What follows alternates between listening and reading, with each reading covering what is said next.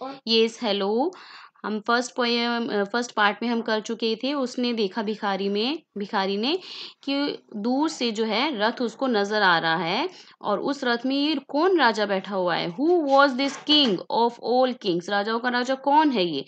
My hopes rose high and me thought my evil my hopes hopes means Asha okay my hopes rose high उसकी आशाएँ जो है और बढ़ गई। And me thought my evil days were at an end उसको ऐसा लगा कि एवल जो उसके जो बुरे दिन थे, वो अब क्या हो गए हैं? खत्म हो गए हैं। And I stood waiting for alms to be given un unasked and for wealth scattered on all sides in the dust और उसको क्या लगा? कि जो उसके पुराने दिन, वो जो एविल डेज़ हैं, वो ख़त्म हो गए हैं। एंड आई स्टूड वेटिंग और जो मैं यहाँ खड़ा होके किसका वेट कर रहा हूँ? आर्म्स आर्म्स मीन्स का होता है? भिक्षा। जैसे वो यहाँ भिक्षा के लिए खड़ा हुआ था। To be given unasked and for wealth scattered scattered means होता है बिखरना और उसे लगा कि जैसे मानो अब बिना मांगे ही उसे क्या मिल जाएगी? बहुत सारे पैसे मिल जाएँगे और जो इधर उधर बिखरे हुए होंगे डस्ट में all sides in the dust उसे क्या लगा कि भाई अब तो राजा आ गया और मुझे बहुत सारी जो है भिक्षा के रूप में क्या देगा, बहुत सारे पैसे देगा और जो है मेरे फिर बुरे दिन ख़त्म हो जाएँगे और मेरे आसपास जो है पैसे ही पैसे स्कैटर्ड मीन्स बिखरे हुए होंगे, है ना? उसको ऐसा लगा। He thought he thought so in this poem आपने मतलब कि इस स्टेंजा में, पूरे स्टेंजा में क्या देखा?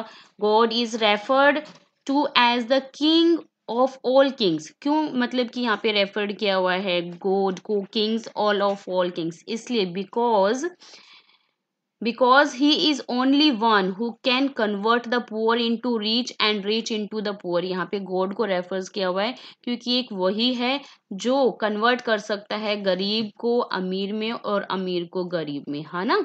सो हियर फ़र्स्ट एंजा में आपने देखा this king of all kings now जैसे कि इस पैरा में हमें एक पॉइंट्स और देखने को मिल रहा है कि जो है, जो बेगर जो है, यहाँ पे चैरियट है ना?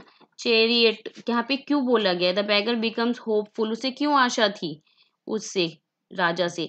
Because he thought that the king of all kings will give him alms and his evil days will be over उसे लगा कि जो राजाओं के राजा उसे कुछ ना कुछ देंगे और जो है उसके बुरे दिन खत्म हो जाएँगे। Evil days will be over है ना? So yes now see the second see the second Yes, the chariot stopped when I stood. The glance fell on me, and though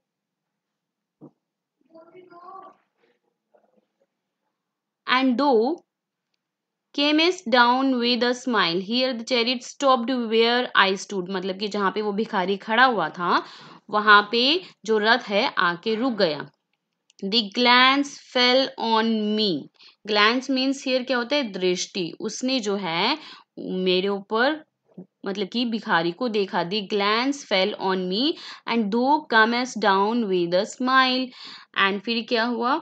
उस भिखा, उस, उसने उसके राजा जो थे रथ के ऊपर, वो उसके पास आया। उसके camest down with a smile और उसके जो है स्माइल से उसकी तरफ़ देखा।